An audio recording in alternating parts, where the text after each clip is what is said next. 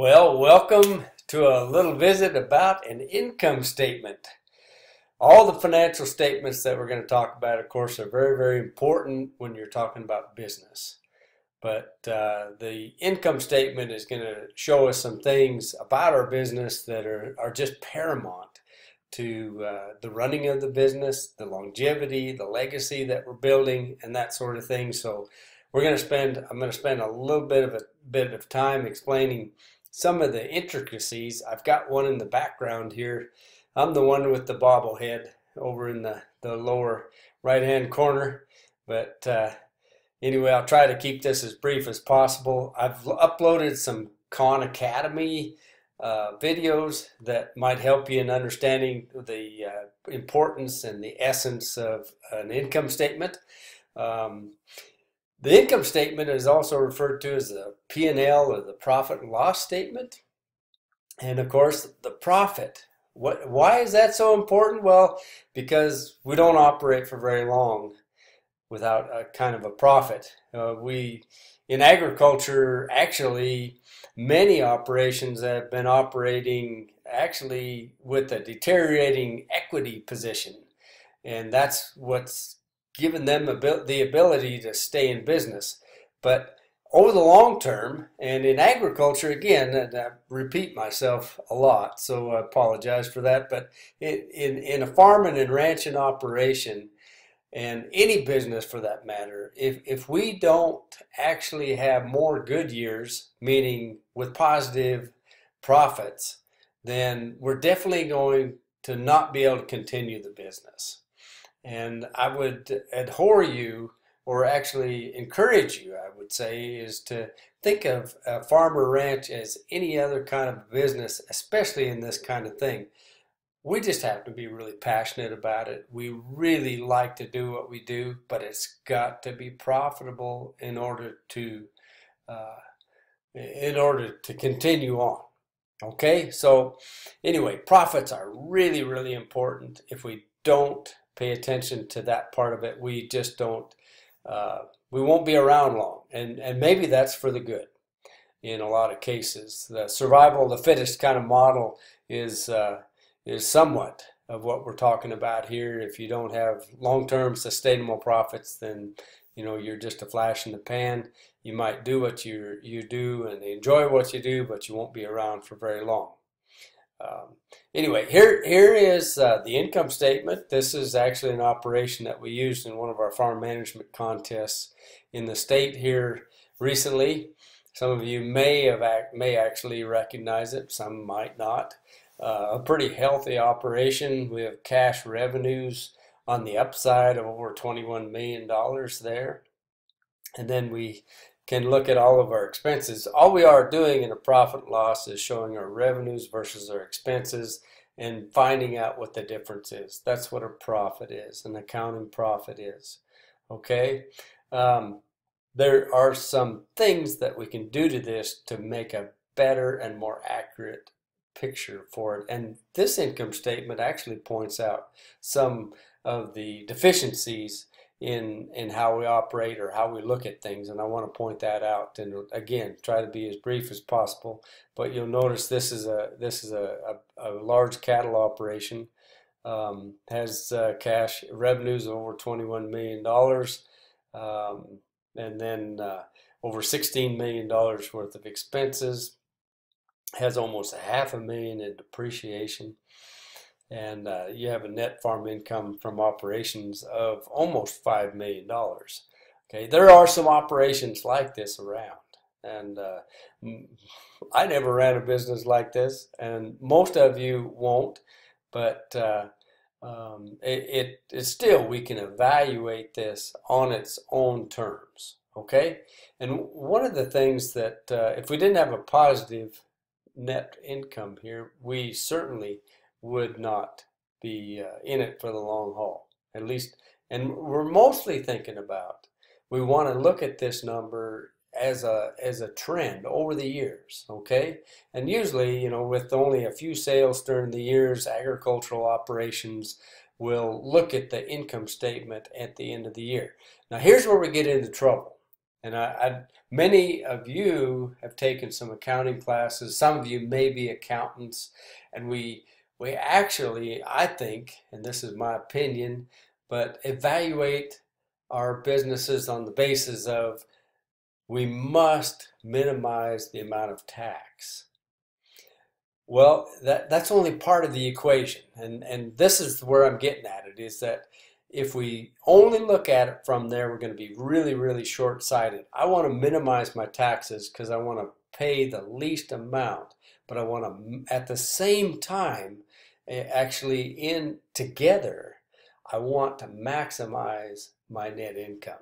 So, okay, if you're going to minimize the amount of tax, which is a cost to our business, you also synchrony in, in, synchrony want to maximize the profits that's the whole idea and we have become too short-sighted in the fact that many times we can pay a little bit more tax but actually maximize or increase the amount of profit for the business which will add to the long-term sustainability of this business so that's where I want you to go with this from now on in, in your business especially. If you can actually adapt to that, then you've got a big thing figured out as far as the longevity and building this legacy that we call your business. Whether it's a farm or ranch or it's just a little old Main Street business down on the corner, um, those things all hold true.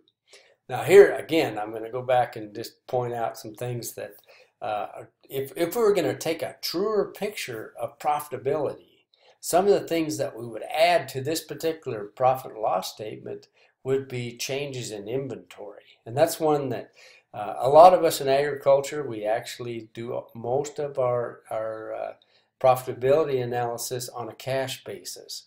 But I would encourage you to take a look at it on a uh, an accrual basis because it gives us a whole lot better look at what the actual profitability of this business is. So just to give you an example, and this is, uh, I'm a hay, hay producer. So if, if I've got 100 tons of hay in 2014, we used this year here, and last year I only had 50 ton of carryover hay. I've got a difference of 50 uh, uh, did I say 100 tons? Okay, well, it, the numbers don't matter that much, but anyway, there's a difference, right?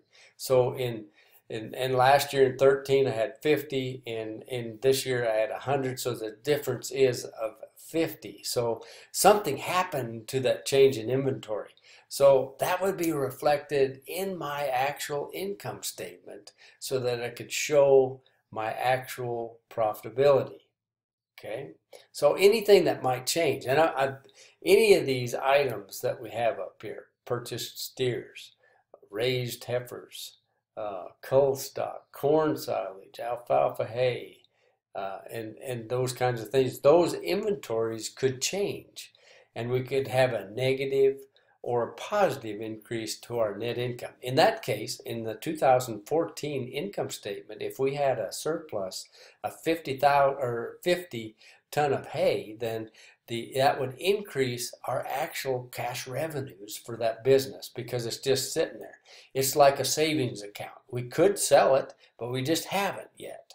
Okay, or we're going to use it within our business, but we still have it. It's 50 ton more than we had last year and we could have we could have an in a negative sense if if we had 200 ton of of hay left over in 2013 versus 100 ton of hay left over in 2014 then we would have the the value of that 100 ton difference would be a decrease to our actual cash revenues in an accrual sense Okay? It does not affect our pocketbook at this time. Those are accrual adjustments, but it actually will show a truer reflection of what our revenue would be.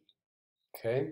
So, and and this this particular profit loss statement has also another non-cash type of operating expense that we see down here in in the lower portion of the income statement that we can visit about. Depreciation is, is, is how we show on the income statement